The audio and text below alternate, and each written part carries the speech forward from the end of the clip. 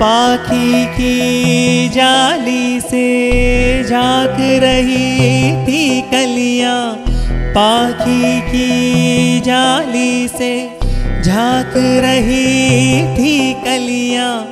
गंध बरी गुनगुन में मगन हुई थी कलियाँ।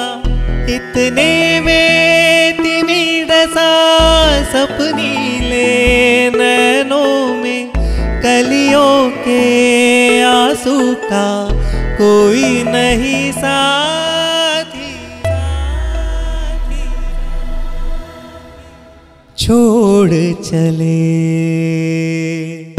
नैनों को, छोड़ चले नैनों को, किरणों के पाती